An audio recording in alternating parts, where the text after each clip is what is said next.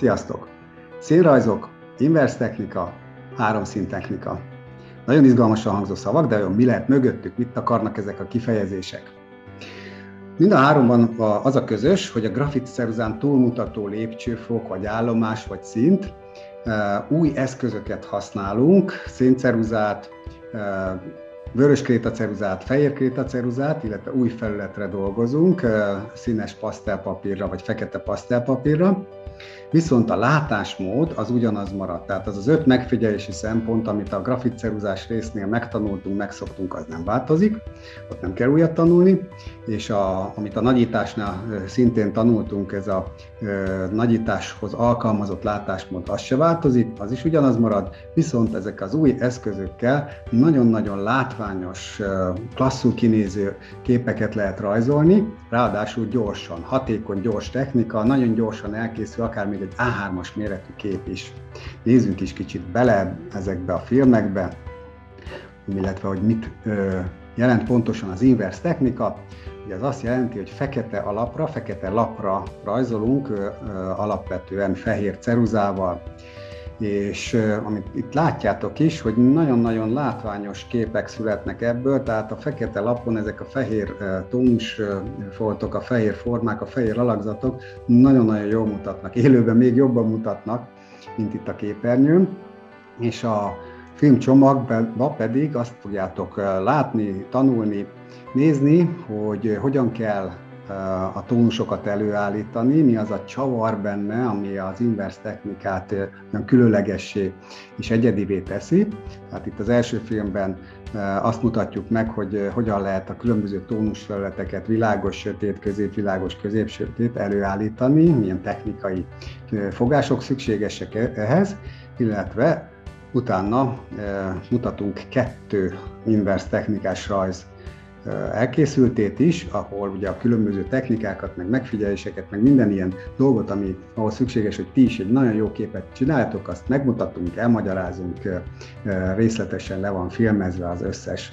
Jó, tehát van egy profil, profil portré elkészítése, illetve egy szembeportré elkészítése, lépésről lépésre, végig az egész folyamat.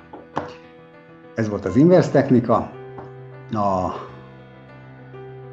következő fejezet, vagy következő filmek azok a szénceruzáról szólnak. Ugye a szénceruza alkalmazásával megint csak egy másfajta jellegű rajzokat lehet készíteni.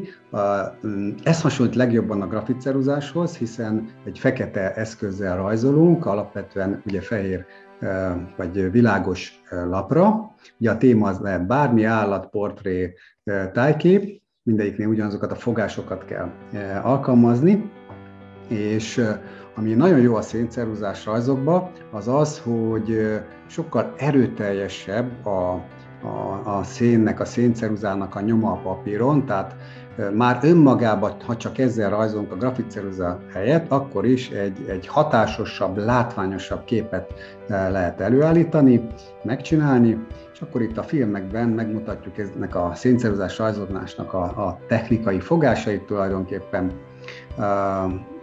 Egy állatképen, egy farkasrajzon keresztül, illetve itt is van egy portré, ahol már a szénceruzához hozzárakunk még pluszba fehér krétát, fehér ceruzát is, tehát amit az inverz rajzoknál mutattam, itt már a kettő kombinációjával, a kettő együttes használatával rajzolunk egy portrét.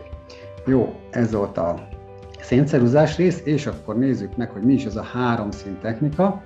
A három, a, ennek a megnevezése egy picit megtévesztő, mert benne van az, hogy szín, és ez igaz is, hiszen a három szín technikában fehér krétaceruzával, fekete szénceruzával, meg még plusz egy vörös krétaceruzával rajzolunk, tehát ez a három szín, erről kapta a nevét. Viszont a rajzok elkészítéséhez még nem szükséges a színelmélet, meg a színkeverés fortéjainak ismerete, ismerete, ez a nagy előnye. Tehát ugyanúgy csak tónusokat kell megfigyelni, mint ahogy a grafitceruzás rajzolásban, viszont a megvalósítás ugye ezekkel az eszközökkel történik, és ezek úgy néznek ki, mintha már színes rajzok lennének. Tehát ha megmutatod majd a rajzot valakinek, az el fog ájulni tőle, hogy milyen klassz színes rajzot készítettél, te viszont tudni fogod, hogy ezek még csak, tó, csak idézőjelben, csak tónusos rajzok. Jó, és akkor a, a fejezetben a, a filmek azok úgy néznek ki, hogy van egy állatrajz, ennek a tigrisnek az elkészítése, itt elsősorban ugye a vonalas árnyékolás technika alkalmazásával, tehát vonalakat húzogatunk ahhoz, hogy jó szőrös állatot tudjunk készíteni. Erről szól ez a film. Következő részben van egy kis technikai magyarázat, bemutató, hogy hogyan kell a háromszint technikának a, vagy a háromszint technika eszközeinek a alkalmazásával különböző tónusokat előállítani. Itt ugye előveszük az összemosást, satírozást és a vonalazást is, ugye, amit a grafitrajzolásnál is alkalmaztunk, és utána pedig ugyanaz a portré elkészítése van, kétfajta technikával.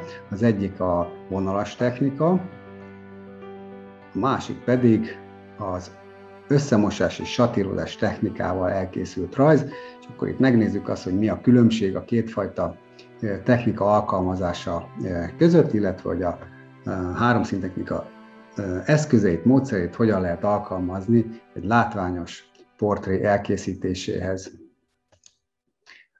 A három fajta rajz, vagy eszköz, vagy módszer segítségével nagyon-nagyon gyorsan és nagyon-nagyon klassz képeket lehet elkészíteni, úgyhogy ezt legnagyobb lelkesedéssel tudom ajánlani mindenkinek, aki mondjuk a grafitceruzás rajzolás után szeretne újabb dolgokkal megismerkedni. Úgyhogy nincs más hátra, mint hogy válasz a csomagok közül, és várunk a képernyők előtt szeretettel.